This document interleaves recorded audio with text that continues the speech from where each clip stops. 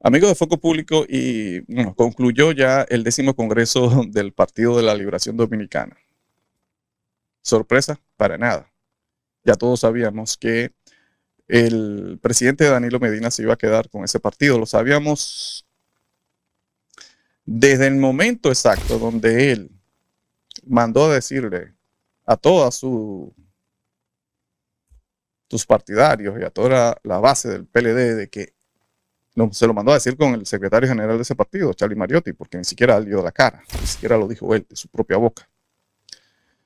Cuando mandó a decir, señores, ya yo no voy. Recuerden que yo acepté esto por cuatro años, pero ya yo no voy más. Yo le voy a dar paso al relevo. Eh, y de hecho, vamos a adelantar el Congreso para que la renovación sea más, más, más, más temprana. Sabíamos aquella vez que esas declaraciones de Danilo Medina solamente buscaban quitarle fuerza, parar la inercia que venía de ese reclamo justo de un sector importante dentro del PLD que decía, señor, alguien tiene que responder por la debacle que ha pasado el PLD. Alguien tiene que responder por ese pírrico 10% que sacamos. Fueron a pedir la cabeza de Danilo Medina. Y estas declaraciones osadas de Danilo Medina, muy osadas, ¿ah? porque él sabía muy bien que su intención no era dejar el Partido de la Liberación Dominicana, su intención no era dejar la presidencia. Y fue bastante osada al decir eso, al decir, hey, yo no voy, no me voy a presentar más. Por supuesto, esto le dio tiempo para identificar a sus enemigos internos, para identificar eso que luego en declaraciones vimos, como él mismo llamó, hay ratas aquí, hay ratas en el Partido de la Liberación Dominicana. Y empezó una cacería de brujas. Ahí vimos cómo empezaron a expulsar gente de esa organización. Eso también le dio tiempo a negociar, señores, y a pactar. Decíamos aquí que el resultado de eso iba a ser que sencillamente iban a rogarle al presidente Danilo Medina de que por favor se quedara, de que él no se debía a él mismo, que él se debía al partido y que tenía que seguir dirigiendo las riendas del PLD. Pues así pasó, exactamente así pasó. Y Danilo Medina ahí está, dando un discurso de toma de posesión, que cualquier persona que no conozca la política dominicana, cualquier extranjero que se sienta en su televisor o que lea el periódico y vea o escuche o, o lea el discurso de toma de posesión de Danilo Medina, va a tener la impresión de que, oh, mira, este señor está tomando las riendas por primera vez de este partido y mira este discurso que es una crítica a la administración pasada y es una promesa de lo que él va a implementar, lo que no se ha implementado antes en ese partido. Qué bien. Pero resulta que ese extranjero no sabe de que Danilo Medina era el presidente de ese partido. Y aquí, por contradictorio que parezca, Danilo Medina, y yo lo voy a ver de esta forma, confiesa, confiesa que la prioridad de ese partido en esos cuatro años donde él fue el presidente, la prioridad, no fue ni la transparencia ni la rendición de cuentas, porque él en su discurso de toma de posesión dice, ahora el Partido de la Liberación, para recuperar la confianza de la gente, ahí admite también de que la gente no confía en ese partido, y eso tiene toda la razón. Dice, para recuperar esa confianza debemos ahora priorizar la transparencia y la rendición de cuentas. Esto es increíble. ¿eh? El nivel de cinismo es increíble. Y ahí están, aplaudiéndole, aplaudiéndole a este señor. Dentro del discurso, algunas cosas interesantes, en el sentido de que Danilo Medina sabe que hay un movimiento fuerte dentro del partido de gobierno, especialmente del sector del presidente Luis Abinader, específicamente, que quiere eliminar el financiamiento público a los partidos políticos. Lo quiere eliminar.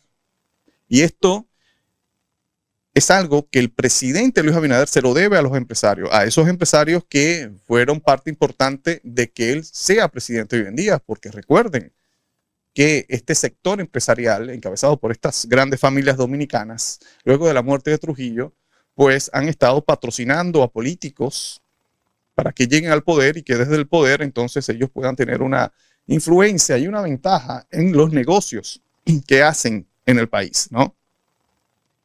Luego de la desaparición ya del presidente eh, Balaguer, pues empezaron a tener mucha más influencia porque empezaron a patrocinar directamente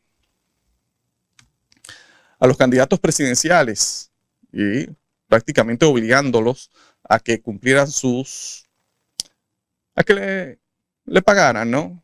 Le pagaran sus inversiones.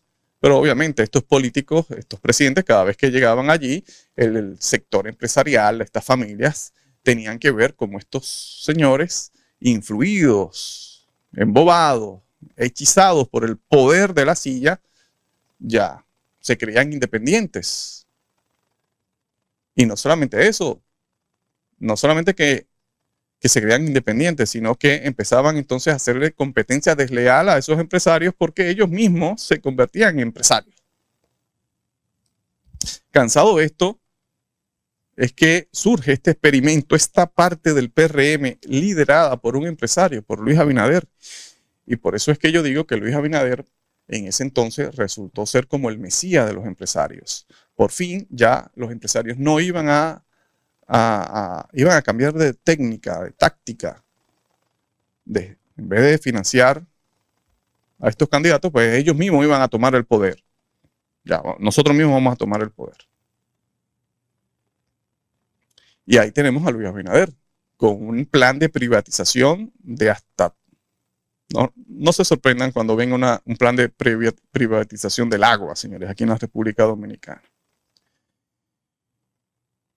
Y una de las misiones que tiene el presidente Luis Abinader para con esos empresarios es quitar el financiamiento a los partidos políticos. Y es aquí donde Danilo Medina, dice, nosotros, eh, ahora, ¿no? Ahora, nosotros ahora tenemos que ser lo suficientemente transparentes para recuperar la confianza del pueblo dominicano para que, prácticamente es lo que está diciendo, ¿no? Para que nos sigan financiando. Y tenemos que eh, hacerle saber al pueblo dominicano en qué se gasta cada peso. Y tenemos que crear mecanismos que eviten que entren al partido el dinero sucio del tráfico de sustancias ilícitas. Es lo que está diciendo. Porque él sabe muy bien que hay un plan, señores, para llegar, llevar esa ley al Congreso de la República para eliminar ese financiamiento a los partidos políticos. De lo cual yo, bueno, yo estoy de acuerdo.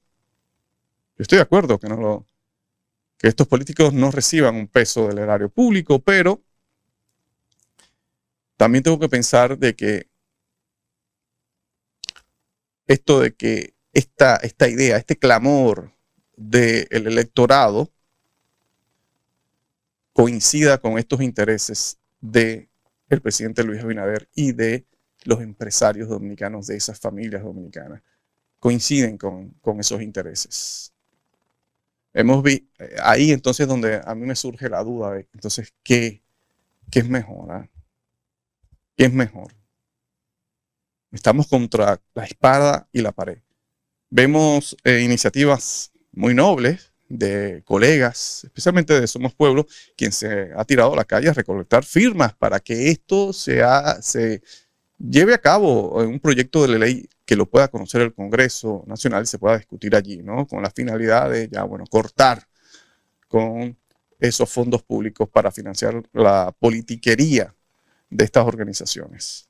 Pero la verdad es que me surge la duda cuando, repito, eso coincide con estos oscuros intereses de estas familias, de estos empresarios, que lo único que tienen por patria es el dinero. Entonces, tenemos que estar pendiente a eso, ¿no? Y ver qué, qué, al final, qué es más beneficioso para el pueblo dominicano. Miren, fue el propio Danilo Medina, para que ustedes vean, ¿no? Danilo Medina, ¿no? Quien dijo que no iba varias veces y que ahora vemos cómo es el presidente de ese partido. Predecible totalmente. Estos políticos son extremadamente predecibles. Y no es que sea una haraganería de ellos, de no ser tan original. Es que ellos ven que esto le ha funcionado por décadas y bueno, si le ha funcionado, ¿por qué, no, por qué cambiar, no? Yo creo que nosotros, el electorado, es que tenemos que revisarnos. Somos nosotros los malos en este, en este asunto. Ellos sencillamente están haciendo lo que le ha dado resultado.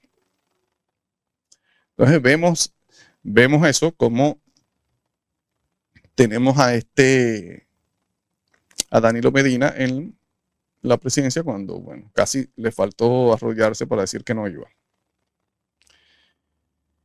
Y, y uno se preguntará, bueno, también vemos a este Danilo Medina que está tomando este partido y con esta serie de promesas, cuando recuerden que él mismo dijo que el partido que quedase en tercer lugar es un partido que iba inevitablemente al, a la extinción. ¿Eso qué era? Era mentira, señor Danilo Medina. Bueno. Él no ha vuelto a hablar de eso. Y nadie se lo pregunta. A mí me hubiese gustado muchísimo que, que algún periodista se lo pregunte cuando lo tenga de frente. Que le pregunte, señor Danilo Medina, ¿qué pasó con la profecía que usted dijo? Que el Partido de la Liberación Dominicana, pues si quedaba en tercer lugar, iba a desaparecer.